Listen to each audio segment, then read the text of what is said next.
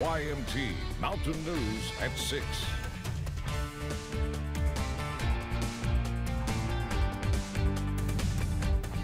The war in Ukraine is still raging, and the country's president is pleading for help from other countries, including the United States. Today, President Biden called Vladimir Putin a war criminal. Russian forces have reportedly bombed several buildings full of children in Ukraine. President Zelensky is asking for anti aircraft systems, drones, radar stations, radios, and other secure communications. In Montgomery County, a couple who came to the U.S. as refugees are now watching it all unfold from thousands of miles away after building their lives in Kentucky. As Shelby Lofton tells us, now they want to get, give back to the country they cannot go back to.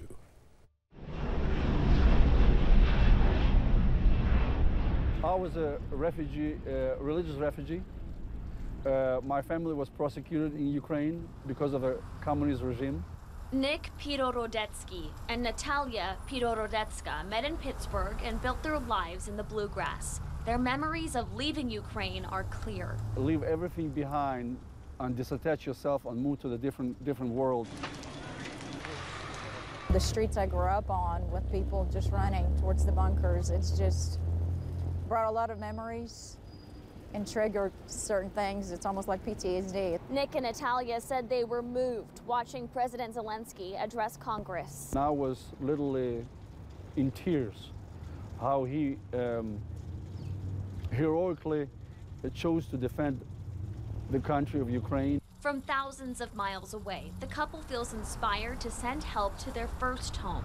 If we don't send them help, they can't make it right now because the factory shut down, everything shut down. They, everybody's in a military mode. Through their church, the couple is raising money they'll send to Ukraine. A lot of people lost documents and it's a lot more challenging to come here now. The proud immigrants said they want the war to end and peace for their people. I think I, I am American dream. I came over here with my suitcase, uh, didn't have no money, didn't have not, nothing, uh, uh, just like refugees right now in Ukraine. In Montgomery County, Shelby Lofton, WKYT.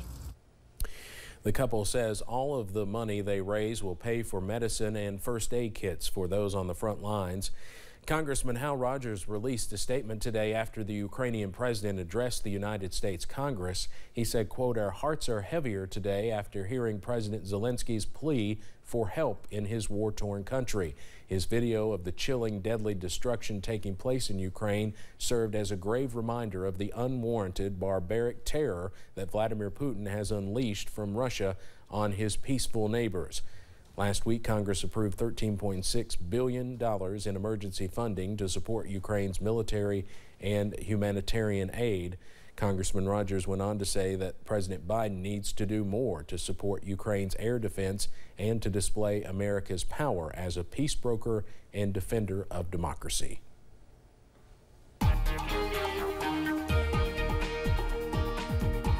Well, we've seen sunshine return to the mountains this afternoon and evening, and we're going to slowly clear out as we head through tonight, but we still do have a little bit of a shower opportunity as we run through the remainder of our Wednesday. I-64 Morehead, plenty of sunshine out there. We'll continue to watch the clouds push on through the region. Mountain Parkway at Slade getting a little bit overcast at the moment as we continue to push through. Highs today have not been too bad. You notice where we've not seeing the clouds, it's been warmer up into the northern part of the state, but for the rest of us, we're starting to get there into the middle 60s this afternoon. Still dealing with temperatures in the 60s in many spots, though a few 50s already working in. You see those clouds continuing to push on to the north as that low pressure sits to our south. Let's recenter the view. You'll see what's going on.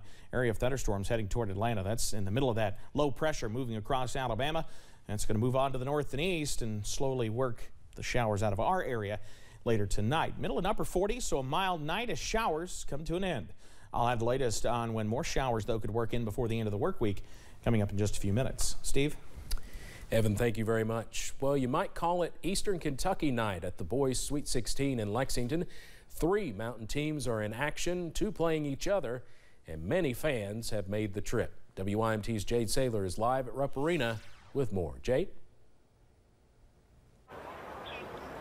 Perry Central tipped off just moments ago to get things started for our mountain teams in the Sweet 16. And to say their fans are excited is an understatement. It was the calm before the storm, but once Perry Central fans began to arrive, they brought the life to Rupp Arena. Decked out in school spirit to cheer the Commodores to a victory over George Rogers Clark. Well, it's just it's just the fact making the Sweet 16. You know, it's a mountain team. A lot of people don't never make it that, that plays for mountain teams, so it's just a, it's a big deal. Win or lose, fans say they're just proud of their team for being here. And we will have more Mountain fans in the building tonight when North Laurel tips off against Pikeville at 8.30. At Rupp Arena, Jade Saylor, WYMT Mountain News. All right, Jade, thank you very much. And as she mentioned, we'll have much more from the fans of all the mountain teams at Rupp tonight coming up at 11. A body was found inside of a burned building in Harlan County. Kentucky State Police say they received a call about a structure fire last night. They said the fire was on Bank Road in the Coldiron community. Police reported that after the fire was put out, they found 48-year-old Herschel Dwayne Holland's body. Holland was the owner of the building. His body was taken to the state medical examiner's office for an autopsy. Police say no foul play is suspected. On Wednesday, Governor Andy Beshear delivered water and sewer improvement funding to four counties. Announced in Somerset, the grants are worth several million dollars and the projects are chosen by the local governments. Those projects are for Clay, Laurel, Pulaski, and McCreary counties. The goal of these awards is to deliver clean drinking water and better sewage systems. As counties and, and, and cities and counties, as a region, or as an entire state, we get a lot more done when we stop competing with and instead work with one another.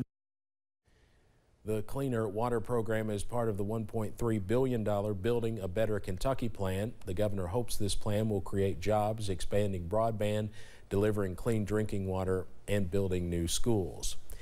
The governor has vetoed legislation that would immediately end the COVID-19 state of emergency. In a video message this morning, the governor criticized the measure, saying it would cut off $50 million in extended SNAP benefits. We asked Governor Beshear in Somerset about his decision to veto the bill. We don't have one single restriction left in Kentucky, and we haven't in six months.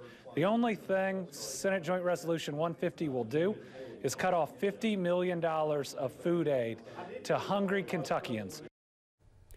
Now, Senate President Robert Stivers says he disputes the governor's argument, saying the state could still receive those extra benefits. In January, Governor Beshear signed Senate Bill 25, which ends the state of emergency on April 14th. A bill to legalize sports betting is one step closer to Governor Beshear's desk. The House Licensing Committee unanimously passed House Bill 606. Similar bills have gone through the legislature in the past but failed. But this year, it's passed the first hurdle, making it out of committee. Supporters believe it could bring in more than $22 million annually. Kentucky is landlocked by other states that allow online sports betting, so people just have to cross state lines. Supporters say people would also spend money on other things while they're here, like going to sports bars to watch the games. The owner of Hoopsters in Jeffersonville says with the Kentucky crowd and March Madness, they get a much needed boost. I just hope people get out and support their favorite venue, if it's Hoopsters or wherever. Get out and support the places because the last few years has been tough on sports bars, restaurants. Just get out and support your favorite venue and go IU, go Kentucky, go Notre Dame, go Purdue. That's our local teams. The bill puts a 14.25% tax on mobile wagers. It also establishes guidelines for online poker and daily fantasy sports. A well-loved diner in eastern Kentucky is moving locations after decades of service. WYMT's Dakota Makris shows us what will soon be the new home of Frances's Diner in Perry County. Serving up home-cooked meals for thousands of customers in its 32 years in the Airport Gardens section of Perry County. I have great customers, and they, I know they're going to be here every day, most of them two, sometimes three times a day. Owner Frances Napier says she decided to move so she could be closer to home, and especially if she needed to walk to work. For us, it still feels like she's staying at home. Moving to downtown Hazard on East Main Street, These pictures giving a glimpse inside the new location. We won't be able to serve more. It's, it's smaller, but we'll be able to see as many as we have.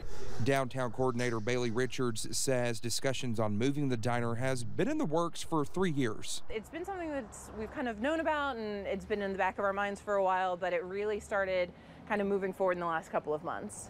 Saying this kind of move adds to the appeal of downtown Hazard. We don't have anything that does dinner. We don't have um, a ton of sit down options in our downtown area. So it's been something that we've really wanted to see. Um, and so we're really excited about it. 16 new businesses opened in Hazard last year. A sit down restaurant in downtown Hazard can bring more businesses in the county and encourage others to move downtown. We have a really kind of condensed workforce. It's all not far from downtown. Um, and then really the hospital is pretty close and things like that. Looking forward to another 30 years of serving locals. In Perry County, Dakota Makris, WYMT Mountain News. And I can't tell you how many times I've eaten there over the years. Frances says she does not have any plans to retire right now. The diner plans to open at its new location April 1st. We have several road closings planned throughout our region the next few days and weeks. The first one is in Martin County. Part of Kentucky 292 will be closed for repairs. Those repairs are set to begin on Friday at 8 a.m. The repairs are expected to last around three weeks. Kentucky transportation officials are letting drivers know to use an alternate route and use extra caution while near the construction zone. Also, a portion of Kentucky 2009, also known as Greasy Creek Road in Leslie County, will be closed. The closing is needed for slide repairs. Those repairs will begin near mile point 10 and is expected to happen between 7.30 a.m. and 5 p.m. tomorrow and Friday. Kentucky transportation officials are wanting drivers to know that they should expect delays there and to use extra caution while driving near that area. Tomorrow is St. Patrick's Day, and many folks celebrate their Irish heritage by having a drink. WYMT's Jordan Mullins has more from the Pikeville Police Department, where officers are warning about impaired driving. St. Patrick's Day is right around the corner, and officers with the Pikeville Police Department are reminding folks to stay safe, drink responsibly, and drive sober. It's one of the leading causes of, of, of death, uh, and it's avoidable. It's, it's something that's avoidable. Intoxicated drivers have taken thousands of lives in Kentucky alone. I know a lot of families that have been impacted by DUI related uh, collisions or uh, by going to jail for DUI, losing their jobs. And officers suggest planning your celebrations ahead or having a designated driver. Call a friend, stay where you're at, call a taxi, um, call somebody, but don't get behind the wheel of a vehicle uh, and drive while you're under the influence of anything. And if you see someone who may be driving intoxicated, to call law enforcement to keep others safe. 911, call. Uh, don't try to stop them yourself, just stay away from them. Uh, but call us. Uh, call 911, call us, the sheriff's office, Kentucky State Police. It could be your family that hit head on down the road. And uh, let us know. A reminder not to test your luck and never drink and drive. In Pikeville, Jordan Mullins, WYMT Mountain News. Officer Khan also said Pikeville PD's officers take impaired driving very seriously and it hits very close to home as many of them know someone who was affected by a DUI related collision. Keeping an eye on showers working through the region this evening. I've got when I've got the latest on when more could work in on the way next. And tomorrow is a big day for UK fans as the men's team begins what is hoped will be a long run in the NCAA tournament. We'll take you live to Indianapolis for a preview. WYMT News app offers alerts on breaking stories as they happen.